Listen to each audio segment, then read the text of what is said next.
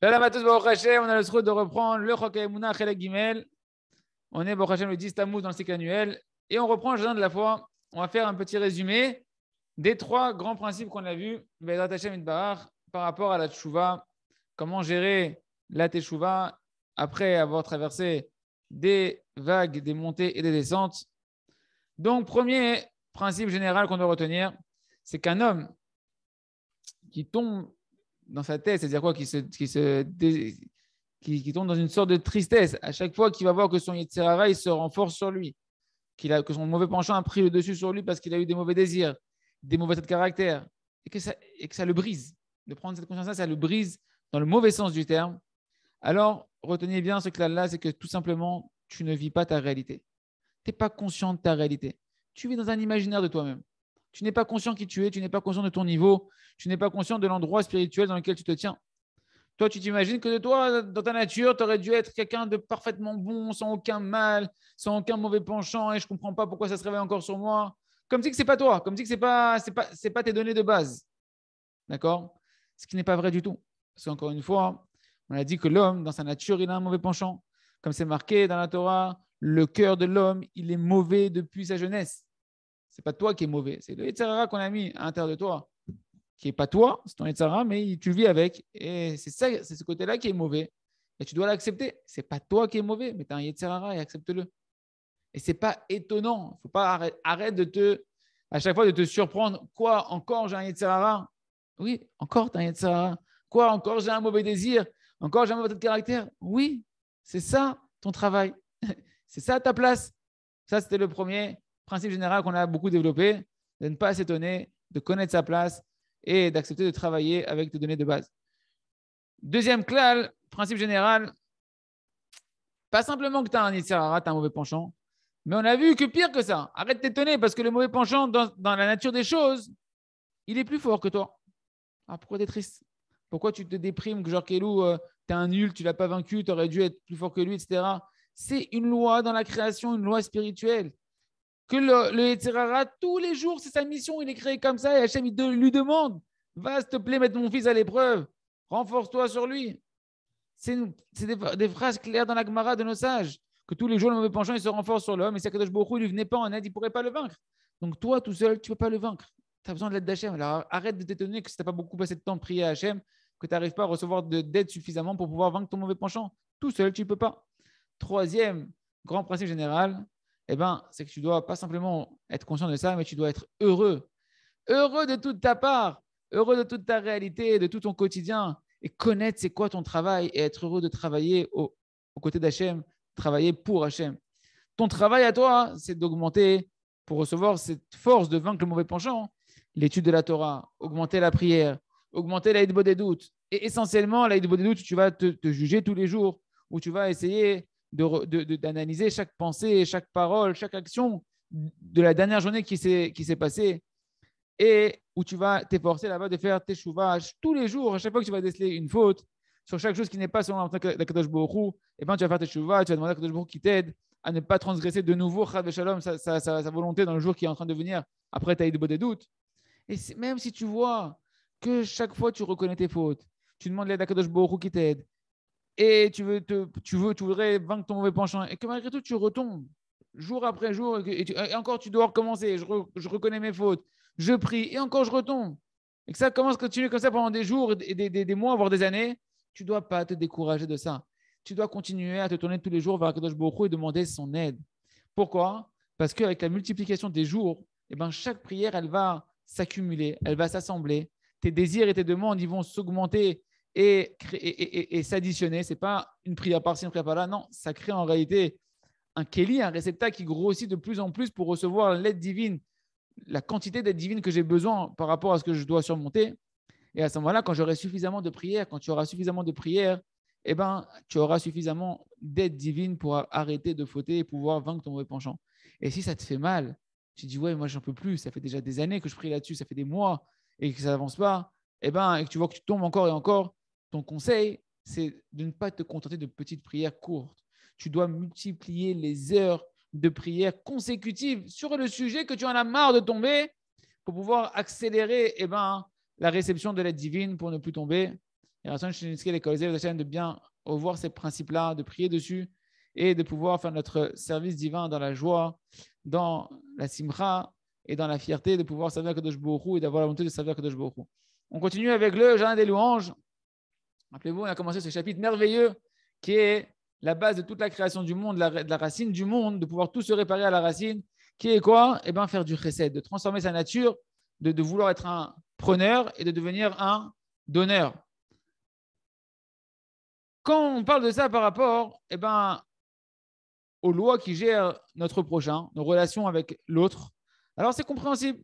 C'est très facile de comprendre comment un homme il doit travailler sur lui pour devenir un donneur. Ben, tout simplement, tu vas, donner, tu vas donner de la zdaka, de la charité, tu vas proposer ton aide autour de toi, tu vas diffuser de l'amour, tu vas soutenir, tu vas renforcer, tu vas réjouir les gens, tu vas les écouter, tu vas être attentif, passer du temps avec eux s'ils ont besoin, etc. Toutes sortes de bontés que tu peux faire euh, par toi-même. Ken, toute chose que tu vas faire en fait où tu ne penses pas à ton intérêt personnel, sur qu'est-ce que je vais gagner, et c'est malheureusement toute notre société aujourd'hui, hein, la société de consommation, euh, comment je vais consommer les gens, comment je vais consommer le monde, comment je vais consommer ma femme, comment je vais consommer mes enfants, d'accord? Bah, Notez non. Dès que tu ne penses pas à ça, dès que tu sors de ce désir de vouloir recevoir du plaisir, recevoir de l'intérêt, ce que tu veux, et que tu te mets à penser à l'autre, qu'est-ce que l'autre il a besoin? Comment je peux remplir les manques de l'autre, combler le besoin de l'autre? Ça s'appelle que tu transformes ta nature de donneur à de, preneur à donneur. Et il y a lieu de préciser que toute cette notion-là de, changer sa nature pour ne plus être un preneur mais un donneur, ça s'exprime essentiellement où ça Dans la maison. Dans la maison, dans le shalom bayit, dans le travail de la paix conjugale entre un homme et sa femme. Il y a des couples qui ne comprennent pas que, et c'est Mechila, c'est 99% des couples qui n'ont pas compris que le shalom bayit, la paix conjugale, c'est un travail. C'est un travail. Les gens, ils vivent dans un Walt Disney. Ils pensent que non, regarde celui-là, il a le paix conjugal, il a un miracle chez lui. Quel mazal il a, quelle chance il a. Il a reçu une femme tranquille. Ouah, le dérange pas. Oh, il a un mari, qu'est-ce qu'il est etc. C'est du mensonge. C'est un coup de passe-passe du Yetzirara et c'est une erreur de première ordre de penser comme ça. Le shlom baït, l'entente conjugale, la paix conjugale, c'est un travail et un travail très difficile sur soi. Celui qui a la paix conjugale chez lui, c'est parce qu'il a travaillé sur ça. Il n'y a personne qui a de paix conjugale sans avoir travaillé parce qu'il a eu de la chance. Ça n'existe pas. C'est pour ça qu'aujourd'hui, Hachem, il enlève le mensonge. Tu vois que les couples ne tiennent pas sans travailler sur eux. Il n'y a pas d'exception, il n'y a pas de. Fais pas de réduction à des couples. toi, c'est bon, toi, tu n'auras pas à travailler. Ça n'existe pas. Ça dépend de combien un homme il travaille sur lui-même. Comme a dit la Mishnah, tu as fait des efforts et tu as trouvé des résultats. Tu peux croire que tu as trouvé quelque chose crois que tu as trouvé quelque chose? Ken, c'est pour ça que le Rav dit j'ai écrit un livre pour les hommes qui s'appelle Le Journal de la paix. Et j'ai expliqué les choses de la même chose dans un, livre pour les femmes qui s'appelle La sagesse féminine.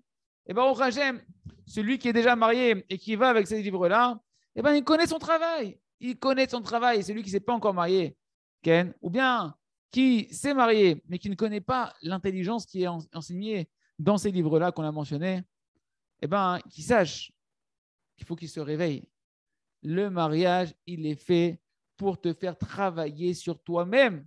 Tu t'es pas marié pour kiffer à travers ton mari ou pour kiffer à travers ta femme. Le vrai bonheur, il est de se débarrasser du mal qui est autour de nous et de faire naître le bien qui est en nous. Ça, c'est un travail personnel. Et l'essentiel de ce travail personnel de tout homme, comme on a dit, c'est quoi? Tu vas faire essentiellement à ta maison avec ta femme ou avec ton mari. C'est de changer ta nature, de vouloir recevoir et de devenir un donneur si jamais les couples, Ken, ils commençaient à, travailler le Shalom de cette manière-là, avec la conscience que la paix conjugale, elle demande un travail, un effort de changer ta nature, pas de la changer à elle. C'est quand qu'elle va changer, c'est quand qu'elle va comprendre, c'est pas comme ça qu'on est une femme. Et lui, et elle, c'est quand qu'il va devenir un bon mari, un prince charmant, un chnin, etc. Toi, cherche-toi à changer ta nature. Cherche-toi à te changer à toi-même.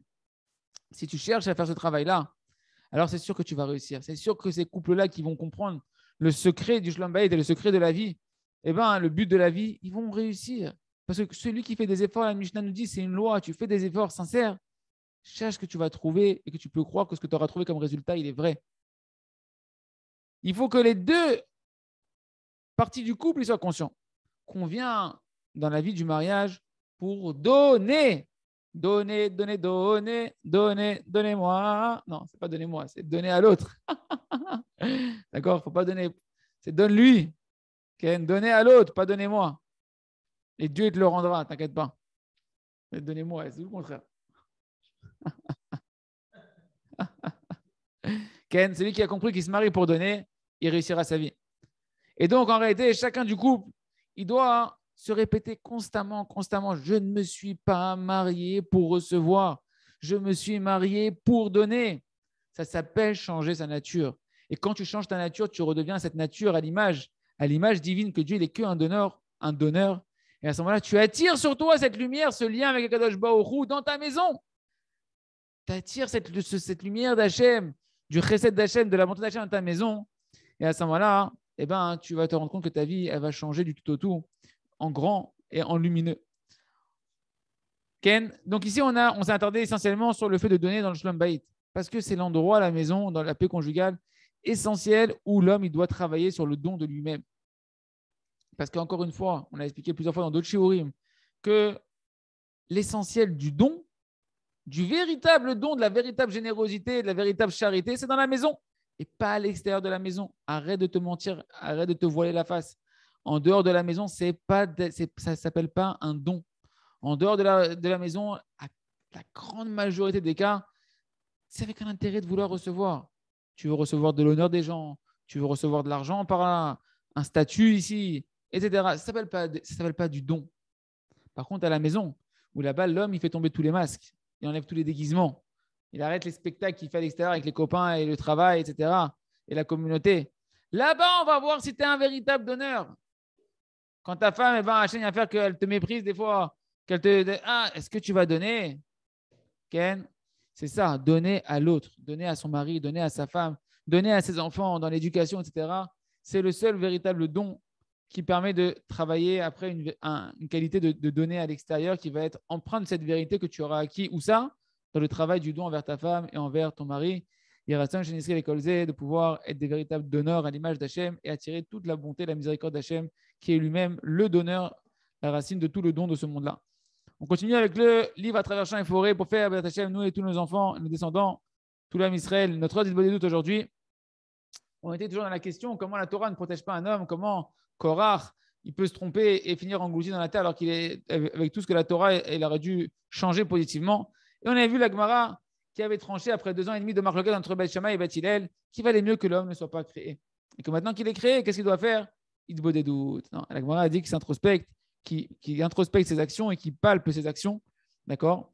Donc, qu'est-ce qu'elle nous dit, la Gemara Elle nous fixe que celui qui a été créé, depuis que l'homme a été créé, il doit faire une heure de tous les jours. Sans ça, il valait mieux qu'il ne soit pas créé du tout. Comme elle a dit la Gemara, il qui doit, il doit introspecter D'accord? Ses actions, scruter ses actions. Et le Ramchal, Rabbi Moshe Chaim Lutzato, qui a écrit le Sefer extraordinaire de, de, le Messiah et Sharim, il explique cette Gemara là-bas. Et il nous dit c'est quoi qu'un homme il doit introspecter ses actions? Et eh bien tous les jours, il doit faire un bilan.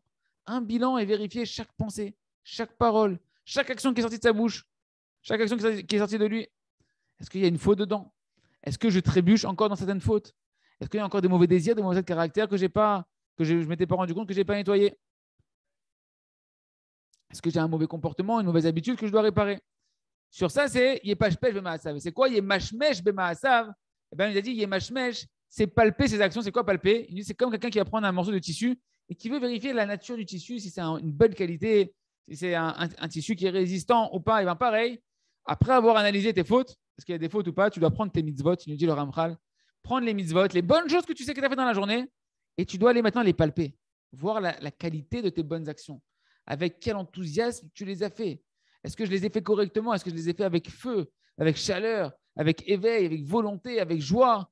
Ou est-ce que j'ai fait aujourd'hui j'ai mis les filines euh, parce que euh, voilà, j'ai pas le choix. Il faut, euh, il faut mettre les filines, je mets les voilà, ça, des juifs, on doit mettre les filines. Ah, ah si tu te rends compte que tu as mis filines ce matin, réveille-toi, tu dois les réparer. Ça s'appelle palper ses bonnes actions, voir la qualité de tes bonnes actions. Est-ce que tu les as mis avec feu? Merci Hachem, je mets une filine, moi m'attacher à toi, etc., etc. Il se trouve donc, donc que Maintenant, on comprend que dans la des doutes et dans l'introspection quotidienne qui justifie la, création d'un homme, il faut à la fois eh ben, scruter, voir si j'ai encore du mal dans ma journée pour l'éliminer avec l'aide d'Hachem, et palper le bien pour voir s'il est véritablement euh, un, bien qui, a toute sa valeur, quel est le niveau du bien que j'ai fait. C'est comme ça, on a compris que tout homme doit faire tous les jours teshuva, se repentir. Et s'il ne fait pas ça, eh ben, il valait mieux pas que tu viennes sur terre. Fin de citation. On continuera avec Hachem dans le prochain shiur. Sois souriez, vous, apprenez des secrets de la vie que mais il y en a plein qui ne sont pas au courant. On commence à faire des doutes. Et on comprendra la réponse à nos questions par rapport à la Torah et à Korah dans la suite du développement de Hashem. On continue avec le jardin de la sagesse. Donc, en, étant en train de faire la caricature du, du de tout celui qui veut comprendre Hachem avant de croire en Hachem, de voir Hachem pour croire en Hachem, de Shalom, nous dit le Rav, le Créateur, il est élevé au-delà de tout entendement humain. Et même les malachim, les anges, ils posent la question mais où est la gloire, l'endroit de la gloire d'Hachem pour qu'on puisse le glorifier? Si les anges eux-mêmes, se posent la question combien a plus forte raison un homme qui ne doit pas s'étonner qu'il ne peut pas lui-même voir la gloire d'Hachem? C'est pourquoi celui qui a un petit peu de sincérité à l'intérieur de lui et qui reconnaît un peu ses limites d'être humain, alors il comprend que d'après les outils qu'il a en tant qu'humain, eh ben, il ne pourra jamais voir Hachem kipchuto avec ses yeux comme je te vois toi et moi en chair et en os, d'accord? Au contraire, il comprend que tout ce qu'il peut voir Hachem, c'est par la Emouna, en travaillant sa foi. Il comprend que lui, ce qu'il doit faire, c'est qu'il doit tout faire, tout ce qui lui est possible de faire pour se rapprocher d'Hachem dans mes limites dans lesquelles Hachem m'a créé. C'est quoi ces limites qu'Hachem m'a donné pour pouvoir connaître Akadosh Baruch et entrer percevoir Hachem? C'est la Torah. C'est les mitzvot qui sont tous en réalité des habits d'Akadosh Baruch des réductions, des contractions de la lumière d'Akadosh Borou pour la rendre eh ben, adaptée à nous, afin qu'on puisse, à travers ce canal-là spirituel de la Torah et des mitzvot, pouvoir connaître Akadosh Borou, connaître la miséricorde d'Akadosh Borou qui, dans sa bonté infinie, s'est réduit, lui qui est infini, et s'est rendu accessible à travers la Torah et les mitzvot pour nous donner la possibilité de renforcer notre émouna, notre foi en Hachem, les yeux de la émouna, les yeux de la foi, de la croyance, et afin ainsi de pouvoir se lier, se rapprocher d'Akadosh Borou. C'est pourquoi, c'est sûr que si un homme eh ben, il, avance dans sa vie avec de la simplicité, avec de l'humilité. Selon les outils qu'il a pour en traverser Kadosh il pourra arriver à cette émouna de voir Hachem, de voir Hachem, mais la main d'Hachem, de la providence d'Akadosh Baruch dans sa vie. Et au contraire, c'est seulement celui qui est conscient de sa petitesse, de ses limites. Il n'y a que lui qui peut arriver à cette émouna-là de voir Hachem et de monter de niveau en niveau et de voir de plus en plus Hachem dans sa vie. Comme le simple de notre histoire, qui savait ses limites, il savait sa petitesse, et au final, il a mérité, lui, de voir le roi en personne, de côtoyer le roi en personne. Mais celui qui n'est pas conscient de sa petitesse, qui veut rester dans son orgueil, Ken, alors c'est un terrible défaut, comme un terrible handicap qui l'empêche de pouvoir commencer à s'élever au-delà de ses limites matérielles pour pouvoir entreapercevoir Kadosh Bourou, comme on a vu la parole de nos sages, que l'orgueilleux, c'est un homme qui, est, qui a un défaut. C'est pourquoi le sage de notre histoire, qui pense qu'il est plus sage que tout le monde, qu'il est plus intelligent que tout le monde, eh bien, lui, au final, on voit qu'il n'a pas le mérite de voir le roi du tout. Parce que sa sagesse, sa soi-disant sagesse, lui empêche de pouvoir entreapercevoir Kadosh Baruch C'est pourquoi, combien a plus forte raison que Béhémet, la, la, racine de toutes les hérésies de chacun d'entre nous et surtout de ceux qui, sont, qui se reconnaissent comme des hérétiques, de Shalom, eh bien, en réalité, c'est cette racine-là qui va, chacun il a une racine à l'intérieur de lui d'hérésie, qui va te, faire sortir toutes sortes d'explications, d'intelligence, de pourquoi, eh ben non, je ne crois pas dans ça, je ne crois pas dans Kadosh Baruch etc. Parce que dans l'homme, il y a un, point là-bas d'hérésie dans le cœur, où là-bas, c'est de l'hérésie qui n'est pas fondée. C'est une hérésie qui n'a pas de fondement logique. Simplement, chacun d'entre nous, pourquoi je nous inclus? Parce que chacun a des facettes de la Torah que ça ne nous arrange pas trop, etc. Donc, une facette d'hérésie. Et chacun d'entre nous, on dit non, j'ai un raisonnement. Pourquoi? Mais en fait, si tu regardes bien, ce n'est pas un raisonnement. C'est juste que dans ton cœur, il y a encore de l'hérésie que tu n'as pas nettoyé. Là-bas, tu dis non, là-bas, ça ne me convient pas de croire en Hachem là-bas. Cette partie-là, ça ne m'arrange pas. Ah, alors vu que ça ne t'arrange pas, alors tu vas trouver des intelligences, toutes sortes de raisonnements. Tu vas chercher sur Google comment je vais prouver mon truc que maintenant je peux faire ce que je veux. Parce que ça, ça ne m'arrange pas. D'accord? Et en réalité, c'est juste le fruit de tes mauvais désirs que tu ne veux pas t'en séparer parce que tu crois que c'est un bon chocolat alors que c'est un poison terrible qu'Hachem l'a mis pour ton libre arbitre. C'est à cause de l'orgueil qui se met encore à l'intérieur de toi. C'est à cause de tes intérêts personnels que tu ne veux pas quitter parce que tu penses que c'est comme ça que tu vas pouvoir t'épanouir. Et donc, au final, cette hérésie te ferme le cœur. Et donc, la personne se retrouve avec une, opposition intérieure qu'il n'y a pas de raison en réalité, si ce n'est que le mal qui est encore présent dans la personne, dans le cœur de la personne qu'il n'a pas décidé d'éradiquer. Parce que si vraiment tu voulais la vérité, pourquoi tu te fermes à double tour ton cœur? Pourquoi tu t'opposes tant que ça? N'est-ce pas qu'un homme qui veut la vérité, il est ouvert, il est prêt à entendre, il est prêt à accepter, il est prêt à se concentrer pour entendre ce qui se passe autour. À plus forte raison, celui qui, qui s'est persuadé d'avoir la vérité, lui, il n'a pas besoin d'avoir d'opposition de quoi que ce soit, il peut entendre tout. Puisqu'il pense que ce qu'il a, a, conclu, c'est la vérité. Donc, il n'a pas peur. Qu'est-ce que, ça, va me changer à moi d'entendre un autre avis, une autre, une, autre, une autre voix?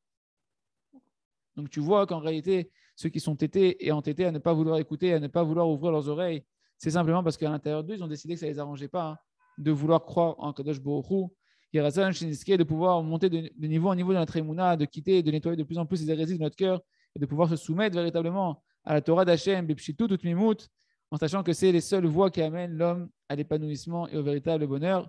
On termine avec le Sefer.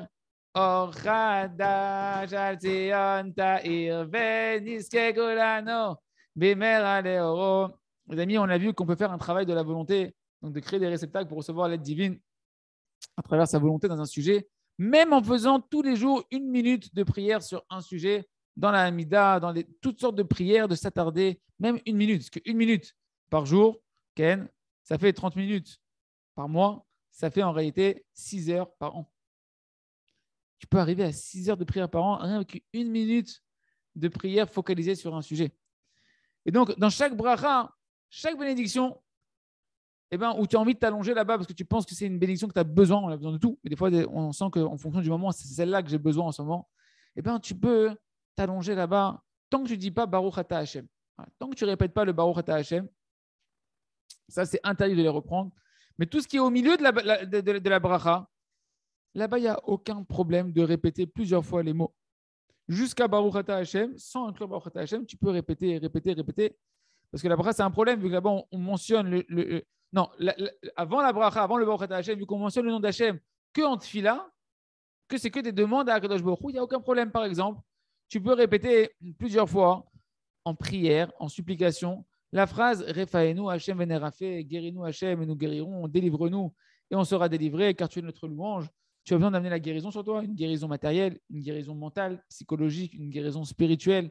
Eh bien, tu peux répéter cette phrase-là sans cesse, sans cesse. Il aura nous dit J'ai vu un des tzadikim de la génération dire la bracha de, qu'on dit tous les matins dans les bénédictions du matin dans la Torah, la bracha qu'on fait sur les birkot à Torah hein, où on dit revna euh, à la fin des bénédictions du matin, répétez, répétez, répétez les mots va revna, fait que la Torah soit agréable dans notre bouche, qu'on puisse sentir la douceur de la Torah, le miel de la Torah, que c'est plus agréable que tous les plaisirs de ce monde-là. À ça, il faut penser là-bas. Ken, Hachem, notre Dieu, fais-nous sentir la douceur de la Torah dans notre bouche, à nous, à nos enfants, à nos petits-enfants. Il, il a dit, j'ai vu ce rave-là, ce gdol, ce géant de la génération. Répétez, répétez, répétez jusqu'à ce qu'il arrive au mot Baruch. Quand il a décidé d'arrêter de faire la bracha, il est arrivé à Baruch, là, il a arrêté de répéter. Pourquoi il répétait? Parce que c'est une prière terrible où tu demandes à toi-même, pour toi-même, pour tes enfants et tes descendants, Ken, comme c'est, le Rav il a écrit beaucoup ça dans le livre, les Yeladim Mustachim, un livre d'éducation qui n'est pas sorti encore en français, où là-bas, eh ben, tu prends conscience que cette bracha-là, tu attires sur toi et sur tes enfants toute la lumière de la Torah, la douceur de la Torah, l'envie de la Torah, l'engouement de la Torah, qui donne envie de quitter toutes les bêtises de ce monde-là. Et juste à la fin, une fois que le Rav avait beaucoup répété, il a dit Baruch Hashem, Amelamed, Torah, l'amo Israël, quand c'est la Torah son peuple d'Israël. Voilà un exemple. Heureux, heureux est ce Rav, ce Gadol, qui nous a donné l'exemple de pouvoir comment attirer sur soi et ses enfants eh ben, une bénédiction extraordinaire dans l'étude de la Torah, dans l'envie d'étudier la Torah. Et donc, on a compris qu'en réalité, même une bracha comme celle-là, on peut faire en réalité six heures de prière, de construire des réceptacles pour recevoir cette lumière-là, en un an, de, en ayant fait juste une, une minute. Répéter cette bracha-là, rien qu'une minute par jour. La répéter pendant une minute, tu arrives à six heures. Six heures à la fin de l'année de volonté, d'attirer la lumière de la Torah, la douceur de la Torah sur moi, sur mes enfants, mes petits-enfants, etc., et sur tout le Ham Israël. Extraordinaire, avec une minute par jour. Pouvoir étudier la Torah, les Shem Shamaim, pour la gloire d'Akadosh Borou, la réussite de toi, de tes enfants. Extraordinaire. Si c'est comme ça, et eh ben en fait, c'est travail de travailler sa volonté. On peut le faire dans n'importe quel sujet, Ken. À partir du moment où on n'arrive pas encore, on ne répète pas la conclusion de la bracha. Par exemple, les mots qu'on dit avant le schéma Israël du matin. Qu'est-ce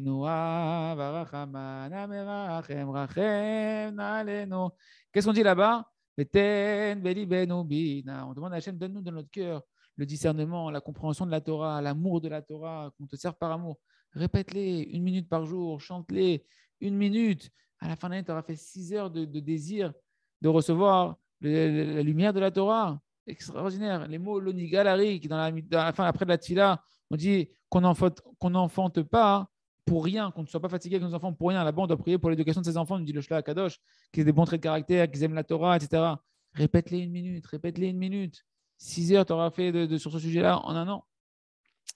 Et donc, ainsi, chacun, eh ben, dès qu'il a un sujet dans la tila où il veut, son cœur, il veut se réveiller là-bas pour pouvoir acquérir la lumière qui est dans ce sujet-là, eh ben, il veut avoir des vrais, des vrais résultats, eh ben, il doit faire comme on l'a dit, Ken, et savoir que bien que ceux qui vont faire maintenant la tfila consécutive sans s'arrêter, sans passer du temps, sans répéter, c'est sûr que ça ne part pas dans le décor, ce n'est pas, pas pour rien. Mais c'est du goutte à goutte, très très très léger, que pour voir les résultats, ça mettra énormément de temps. Tandis que si tu investis, ne serait-ce qu'une minute tous les jours, tu vas construire des réceptacles, des réceptacles, un match solide, de plus en plus grand, pour recevoir l'aide divine dans le sujet que tu as demandé. Et à ce moment-là, eh ben, plus celui que tu vas, tu rajouter une minute, deux minutes, cinq minutes par jour, dix minutes par jour, plus tu vas recevoir une aide divine rapide qui va changer complètement ta vie et celle de ton entourage. C'est pourquoi celui qui veut maintenant se réveiller au travail de la volonté sur des sujets particuliers de la tfila, eh ben, il n'est pas pas forcément que dans la Hamida. Quand tu as compris ce sujet-là, c'est pas que pour la Hamida. D'accord? C'est n'importe où, n'importe quelle prière que tu vas rencontrer. Et c'est et ça vaut le coup de faire des petits euh, signes de rappel dans ces livres, hein, dans, ton livre de prière, de te mettre des signes, genre attention, voilà, ici, là, rappelle-toi que c'est un sujet important, tu peux répéter, répéter, répéter, répéter, et te, te faire des petites, des petites annotations, des petites euh, indications, hein, comme on l'a expliqué dans le livre, il a dit Mouslachim, le Rav nous dit, pour la prière pour les enfants, et c'est quelque chose de certifié qui marche. Dommage que lorsque tu te mets des petits rappels, ça t'aide à te, à te rappeler, à mettre ta, ta concentration, à réveiller ta volonté de ne pas oublier de, de, construire des kelim pour recevoir les dachem et que comme ça chacun puisse eh ben, avoir des véritables changements dans sa vie. Chazak.